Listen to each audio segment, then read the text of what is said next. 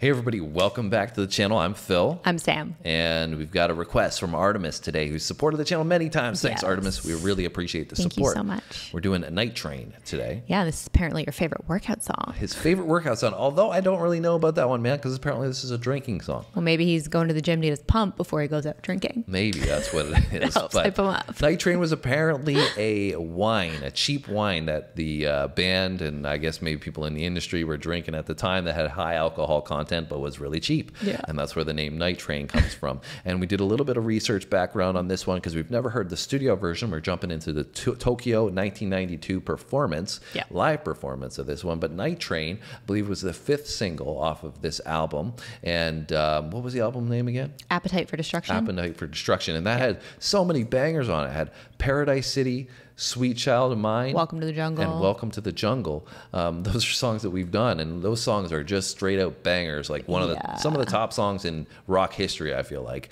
And uh, the other one that we've done is November Rain, and that was was the first one that we did, which is I believe off a different album, but Yeah. still fire nonetheless. Anyways. Clearly, they've got a lot of bangers on this Yes. album. Let's see if this one is a banger as well. Are you ready to get it going? Before we do, though, we have You're a little ready. question for you, a little pop quiz. Just a little pop quiz. And we want to know if you know. If you do, drop it in the comments. If not, then wait. And at the end, we will let you know. But what two bands kind of fused together to make Guns N' Roses? What are the names of those bands? Yeah, so prior to them becoming Yes. Guns N' Roses, they were two separate bands that And blended together. meshed together. And what were those ba- bands called Yeah. to form Guns N' Roses? We'll tell you that answer at the end. Anyways, let's go. Nightrain, Tokyo, Guns N' Roses.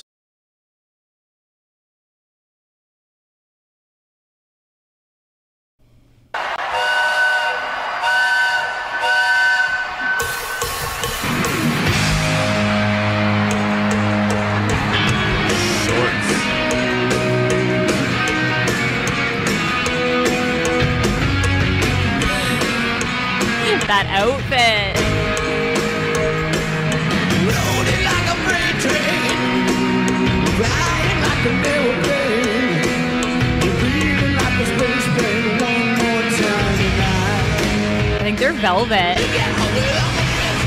What? I think they're velvet.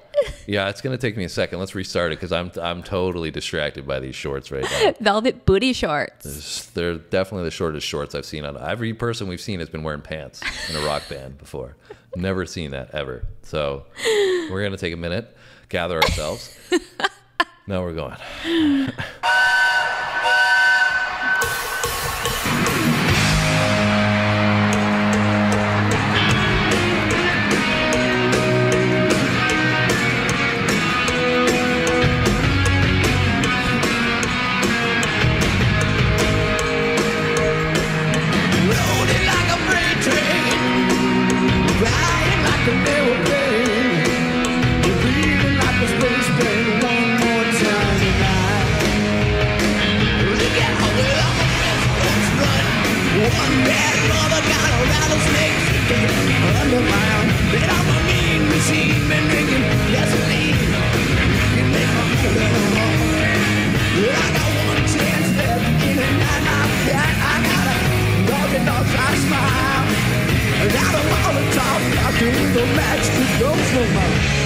Cigarette with style.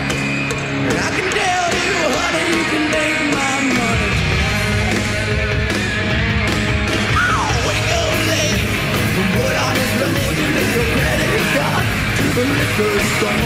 That's what you do for me like tonight. I'll be loaded like a freight train, flying like an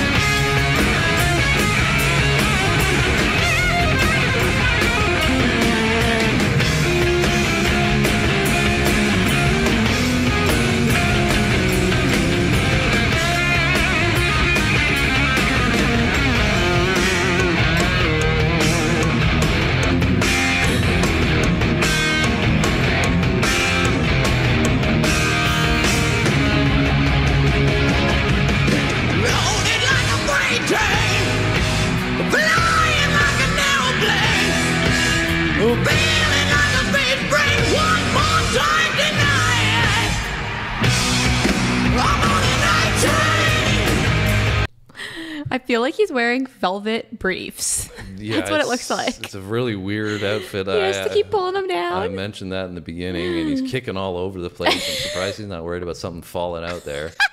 Um, you know, I, I love you, Artemis. I, you know, appreciate all the support. Yes. Um, however, I gotta say that I'm not in love with his vocal performance on this one. I think from the performance standpoint, like I, I've just my expectations are so high now Yeah. after what we've seen from Guns N' Roses. I was expecting his vocal to be sharper Yeah. on this one. I love, you know, Slash came through and did his thing again. I really like the hook. Kill the guitar. I love the hook as well. Um, the energy and stuff, it's comical, it's funny. Like, and I don't know if that's what this performance is supposed to represent. Yeah. A little more fun, a little, you know, Yeah, less focused like on the concert. You know, uh, it's not like the the point of the song doesn't seem like it's supposed to be a deep message or anything like that. Yeah. It's supposed to be a fun party song. Yes, Right? yeah. So, um, you know, like I said, don't you know. Don't take it to heart if I'm not loving his performance on this one. I just got to be honest and say, like I said, I felt like he was a little bit all over place on when he was singing there. Um, he's got a great vocal, like his vocal is fire. He just comes in, his range is wild. I just Yeah. felt like he was kind of like jumping all over the place when he was saying what he was saying. Yeah, it didn't so it's really hard blend to with be, the like, music as well as what I would have wanted. So Yeah. that's just my initial response to it. But you know, uh, I haven't heard the studio version, so I can't really comment too intelligently on Yeah. how it's supposed to sound. Yeah, and I don't know if you heard this, but like I was picking up a little bit of like almost like mic feedback and Mm-hmm. stuff because he was like running around and stuff. So that's obviously gonna kind of hinder what you're hearing and Yep. stuff like that. And it was just like a little bit like that was kind of I was like, oh, I wasn't expecting Mm-hmm. that. But I can definitely see from like an energy standpoint, like how you could say like this would be like a good workout track or a party track or True. like something to like hype you up and good energy. Yeah. So I could totally see like why you side. Like the song Artemis in general. Um, I think it's probably like what you're saying, like just especially not hearing the studio version yet, it's hard to know what this is you're supposed to be hearing. So you're kind of just like all over the place a little bit, trying to follow the live performance. Yeah, that's what I was just saying, right? The studio version might, you know, be that hype up for a workout kind of song, Mm-hmm. Yeah. and we're just not catching that so much on this performance. Um, I like I said, I don't necessarily think that the song sounds bad in any Mm-hmm. way. It's just more of him sprinting across the stage and trying to sing at the same time Yeah. may not be going so. Uh, well, yeah, yeah, yeah, for sure. Right?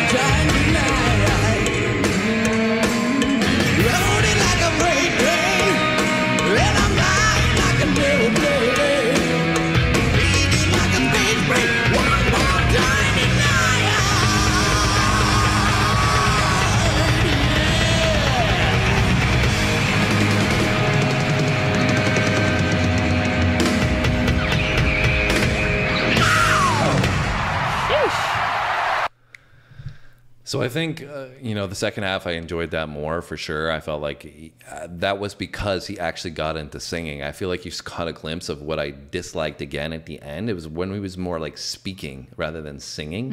When he was actually ripping in and like getting into the you know high range of his vocal and singing like he can, that was sick. It sounded awesome, and Yeah. the hook sounded good as well. Obviously, Slash came in with another solo, Yeah, sounded killed fire. that. Yeah. Um, that was all great. So I think it's maybe just that little snippet at the end. It was only like you know ten seconds, and in the introduction that I maybe I was kind of pinpointing a little bit too much because the rest of it was really great, and I did enjoy. Like right after he paused it, I was like, okay, yeah, he's just gonna make me look bad now by coming through and ripping it. Yeah, you know, I think that definitely like his vocal range is so impressive. And like you said, I feel like for me, it was more like when he was stationary, he was fine or like moving around a little Mm-hmm. bit. Like you said, it was more of like when he was like trying to run and dance and jump and sing at the same time. It's a lot going on. And when you were there, if you were there while he was doing that, you probably wouldn't even be caring Care. about it. You'd Exactly. Like, oh, this is awesome. Exactly. And it's also kind of impressive that he still has that much power while he's doing those things. Very true. I couldn't do wild. it if my life depended on it. So Yeah, but I think the that guitar solo in the second half was my favorite part. Like Slash killed it. yeah, it was great. Yeah. Well, hopefully you enjoyed our reaction nonetheless, Artemis. You know you're going to get Yes. a real reaction from us. We're not going to you know, fake it out here. We don't do that. But we've been enjoying our Guns N' Roses journey, and this added to it for sure. It was cool to see the crowd. They were loving it. First time that we've got to see them do a live performance like this as well. So Yeah, and I'll probably download the studio version for my my workout playlist too. So. Yeah. So thank you for that request. Hopefully you all enjoyed it. If you did, hit the like button for us. Is your first time on the channel. Hit the subscribe button. We got two videos every single day: music, sports, and comedy. So you know what to expect when you subscribe and check in tomorrow. We'll see you then. Thanks for watching, guys. See you next time. No, wait, time. hold on. We forgot the answer to the pop quiz. Yeah.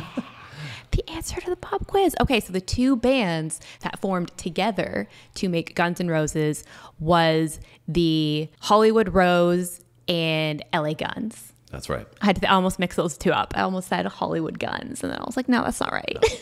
That is, it's Hollywood Rose Rose, and LA, LA Guns. Guns.